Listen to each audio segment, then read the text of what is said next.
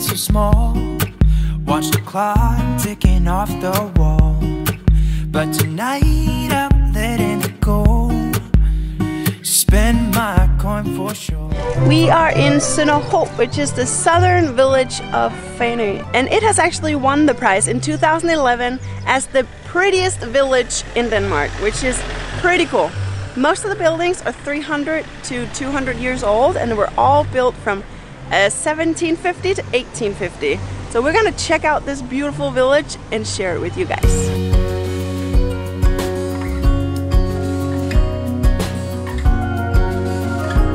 It's just filled with thatched houses everywhere and red bricks and then they have a little bit of white around and some green usually but it is really cute here I love it it reminds me a lot of Skagen uh, in the north of Jutland we made a video from there as well except that all the houses were yellow and white and had red roofs. So but it's kind of like that uniform feel when you go into a village where everything matches each other.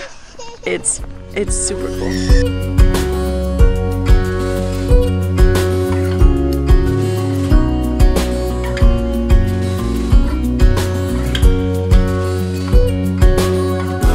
They are having a Citroën meetup and a market over here, so there's a lot of stuff going on in Sønderho today. We should get this one as a car number two because a lot of times you buy like a small little car for small trips if you have two cars, but I'd like this one as a car number two. They have a whole garden here with herbs and rhubarb and all kinds of stuff. And you can buy it right there. That's awesome. It's a lot of fun to explore a village that actually hasn't burned down. I was just thinking about that because it says on this church that that part is from 1782. And most places we go, unless it's like a castle or something, it hasn't lasted that long. It's always been burned down at some point. So being in a village where everything is original like that is really rare and very beautiful. Little cultural insight. There's nothing about this church or this graveyard that is typical Danish. The churches are normally white. This one's a red brick. And they usually have a tower. This one does not. It just has this little thing up here where you can put a bell. And a lot of times all of the churchyards they have like little um, kind of like this over here. So they have little bushes. So you have your own private little small little space with the, like with kind of like a garden. But most of this space is more like you know it from the states where you have a lawn and then you have all of the gravestones. I like this style. I don't know why.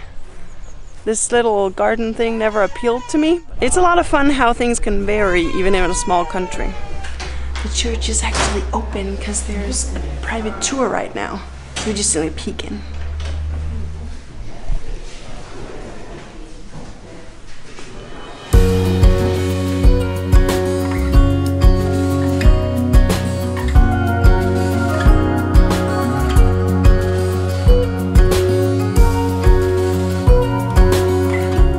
These amber pearls right here are a thousand years old Viking pearls. They found it on the beach right down here. That's pretty cool. In here you can buy handmade silks. That's crazy. I just talked to the lady who owns the place and she said that historically they've always had a lot of silk on Fanø because of the trade with the ships and stuff.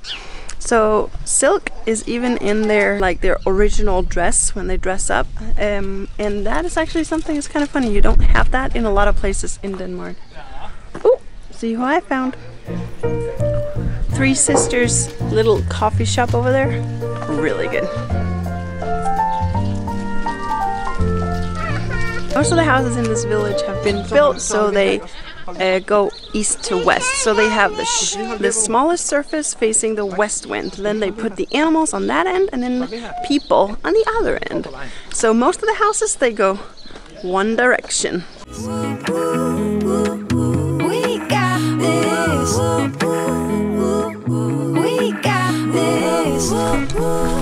This is so crazy. It's like being in Hansel and Gretel the whole time. They're playing folk music in here.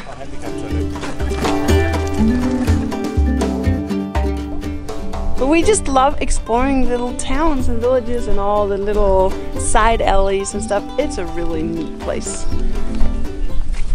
I honestly don't think I've ever seen this many thatched roofs together in one place ever in my life. It's very impressive.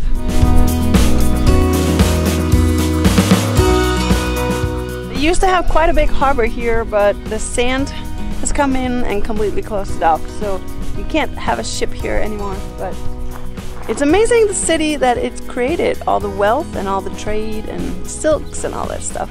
Pretty awesome. They have a flooding pole here, so they put little metal markers every time they've had a flood so they can measure how how far the water came up. And in 1928 I would have been underwater. And the very top one was 1939. So those 10 20 years they must have been rough around here. 1981 that was right before I was born. 1852.